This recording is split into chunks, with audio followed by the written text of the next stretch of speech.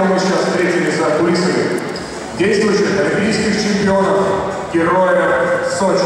Это... Это Федор Климов и Ксения Столбова. И это... И, это же Ксения Столбова и Федор Климов.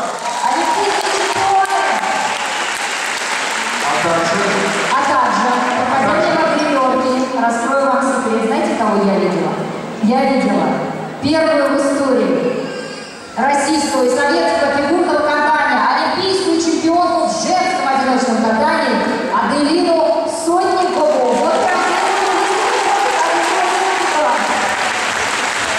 Аделина, Ксения, Федор, и многие другие замечательные фигуристы готовятся к на лед.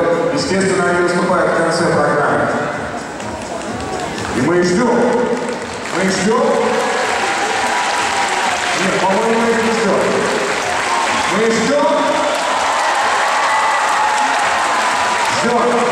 А сейчас мы продолжаем.